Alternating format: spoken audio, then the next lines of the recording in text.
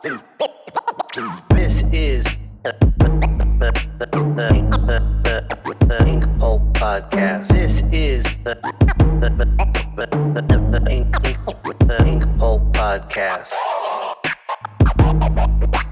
Comics, hip hop, life.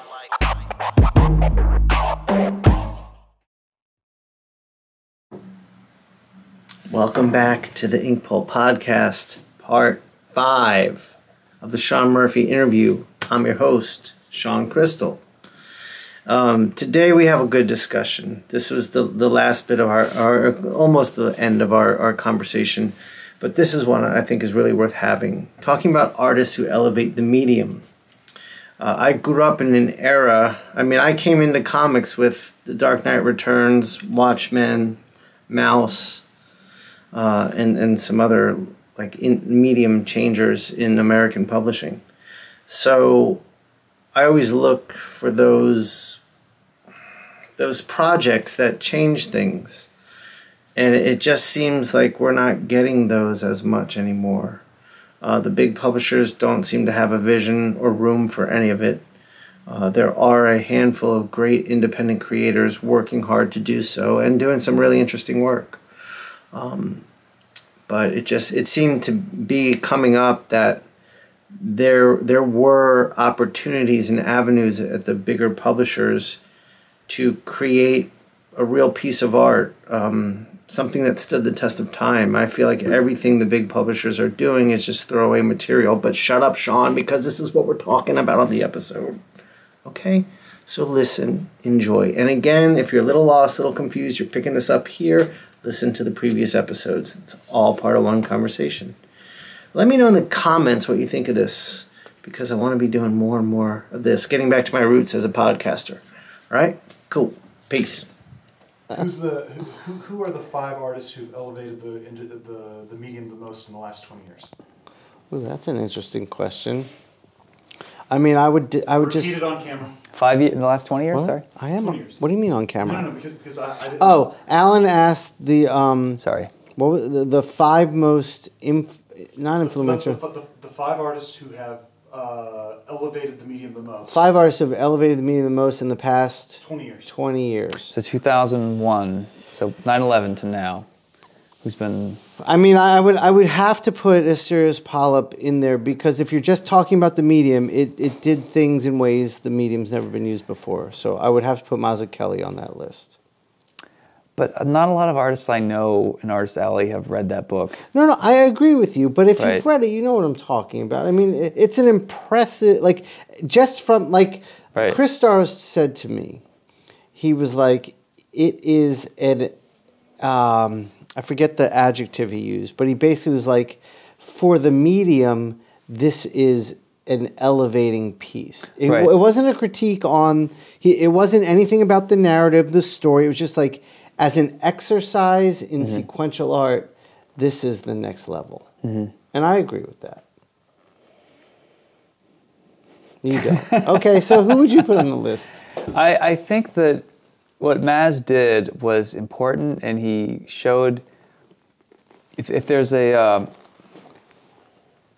uh, there uh, there's a horizontal scale of like we go from here to here. He took one of those bars and moved it way out further. Agreed. Have you ever thought about art this way? What you see the movie Soul, Pixar? Uh, I haven't finished it, but yeah. Okay, so to me, that's like a little bit like what Maz did, where he goes, "You guys think about art this way. I'm going to show you that." that I think that that's valid, and academics and colleges and professors Okay, will study it forever. is- I think but I don't think that it struck enough of the culture. I agree. To actually okay, make a- that's an fair. impact. Academically, um, Yeah. then that's exactly how I would cage everything. I agree with you said. academically, but because Yeah. not a lot of people have read it or, or gotten all the way Right, through but it. if you, but if in terms of elevating the medium, we have something that we can that a newer generation can study to learn how to do the medium differently. like that, I think Walking Dead is more important than that as far as everyday in and out meat and potato comics.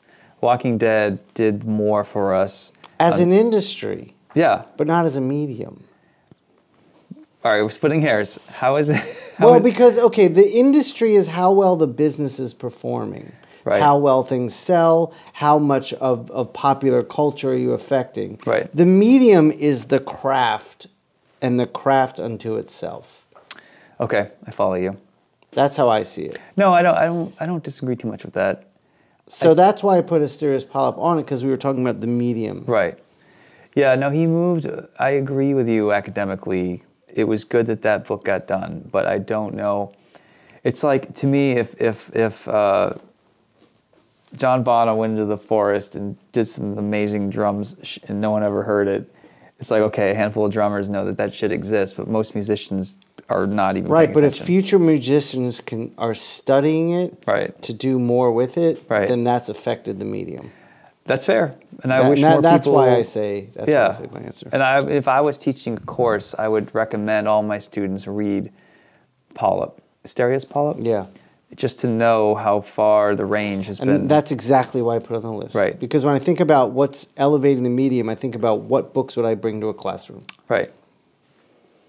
I would bring it in and be like, "I'm so sorry, but you all need to read this." Right. I didn't. I didn't enjoy the read. I, as a narrative, it frustrated the hell out of me. Yeah. The you know. Right. But I, I was in awe of how it was unfolding. Mm-hmm.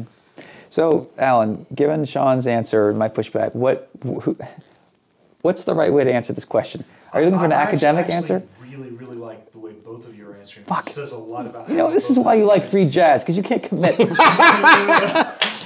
No, he's saying we're capturing our I think personalities. Your catching your pers- personalities. One of the things I really like is that you're more concerned about the industry. Right. You're more concerned about the medium. He's more concerned about himself. Go ahead. I think. I think. I think.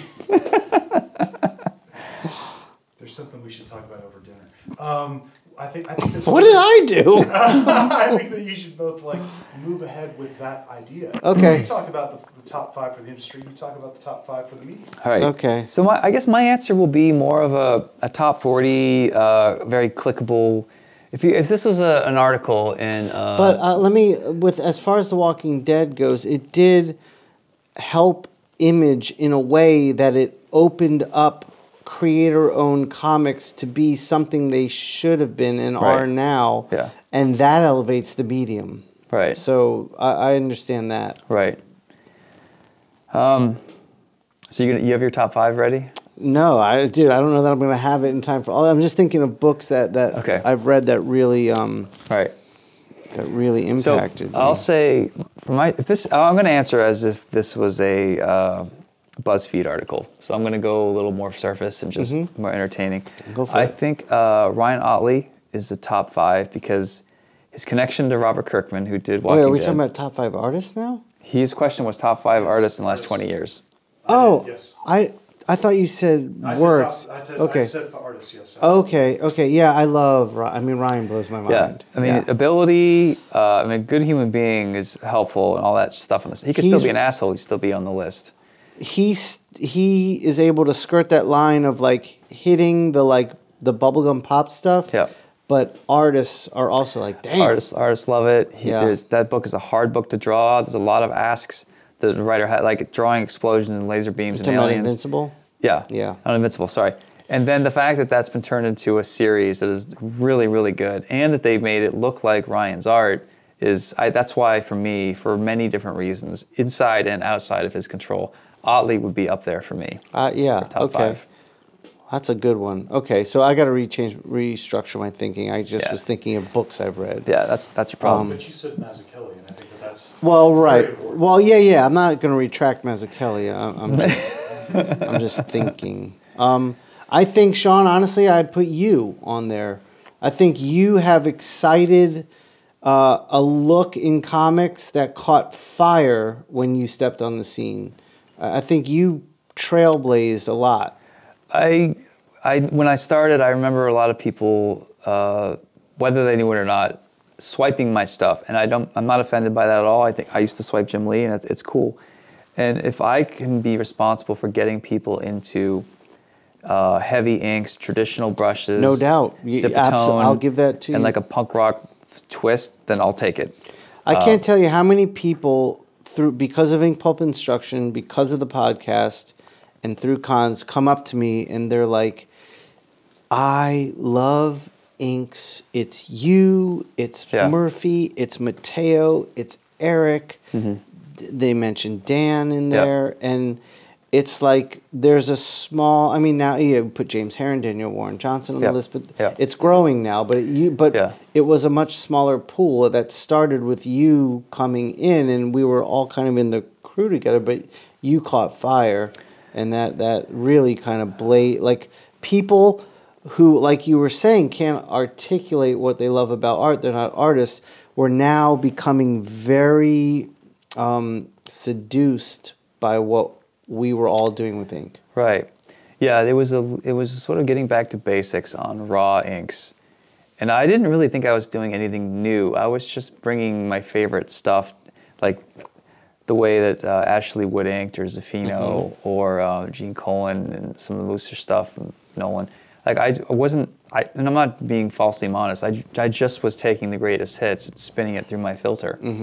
Like people are like, oh, you use fingerprints for rendering. You invented that. I'm like, no, uh, Sienkiewicz did it before me. Cavemen did it before him. Right, right, It's, right. it's not. A, thank you, but really, it's fine. Um, yeah, I don't know. That I appreciate that, but I don't. I think that's giving me too much credit because I'm just Uh, I don't I'm think spitting so. out the best Uh, that th- I've There was collected. a shift. I mean, you're talking about the bigger picture of, of the the industry and how the artists affected the industry and the medium. There was a shift. Right. There was a big shift when you hit it. Uh, that definitely happened. But yeah, the past 20 years, you mentioned a name we have to put on there, Bill Sienkiewicz.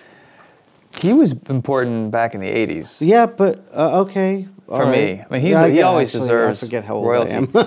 so uh, for the last 20 years, Yeah, I'm gonna go. All right, okay. I'm gonna go That's Bruce fair. Timm.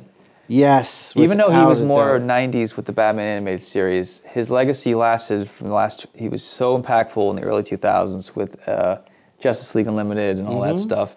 And he got Mm-hmm. No doubt. Mm-hmm. Darwyn going, and there are so many children of, of Bruce Timm out there, myself Mm-hmm. included, some to some degree. I think Bruce is a massive influence art wise and how it no doubt with, with no animation doubt and at stuff all. too. And he came into comics and showed everyone how it's done too. Yeah. Don't forget, he won an Emmy and an Eisner for the same story the yeah. same year Yeah. for Mad Love. Yeah. That no we can one's interview done. him, man. I, I don't even know him. I'd love to get him. Are you kidding me? Like- I wish I knew him well enough to contact him, but I don't. yeah, yeah, no. So we have uh, Ottley. Well, I have Ottley and Bruce Timm. I mean, Um, I'm agreeing with you. I guess we'll compile it together. You said me. I'll, I'll accept that. Okay. Um, so who are these other two? You said Mazzucchelli. Well, you said Mazzucchelli. Okay, you're not gonna you're not gonna get on board with me on Mazzucchelli. All right. Um, Last 20 years since 9/11. Okay, and we got should we we should be thinking outside of America. We shouldn't just be doing America, right? Yeah, of course.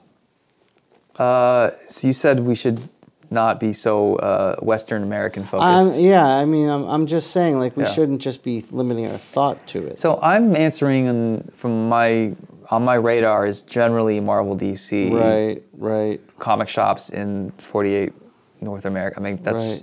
I mean this the guy that just did, drew Jazz Maynard is amazing. Yeah, his yeah, name I- is, I uh, have his stuff. Bernard something. Yeah. I forget. Uh, Bernard's the last name, isn't it? Blacksad, Black Sad, Guarnido. Guarnido, Juanjo. Juanjo Guarnido is insane. Mm-hmm. But that could go, that's a whole other list for me. I'm just sort of focusing on local guys Okay. and girls, Okay. but mostly guys. Uh, who else? We got three. Hmm. Man, now you're gonna see a lot of pausing and editing. No, there's no editing. We're You got gonna- any- one in we're- mind? We're gonna sit in some uncomfortable I mean, um, pauses. Well, I mean, I, is is how old is Bone now? Bone was done in the '90s, but I mean, you, you, you Bone about Jeff- started in the '90s. Yeah, but it, it came in. I think can talk Jeff about Smith could be in there. Yeah.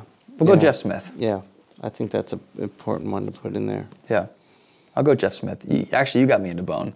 Did I? Yeah. And you got me to read the book. It was a slight j- dick joke. Didn't quite work, but whatever. Here we are. Just fell flat. Uh, It's the whiskey. All right. Well, look, Oh, wait, five, number five. we need a fifth one. Yeah, just to end the list.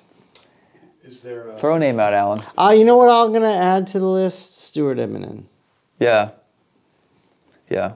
because he could do those giant Marvel stories Hmm. so fucking well.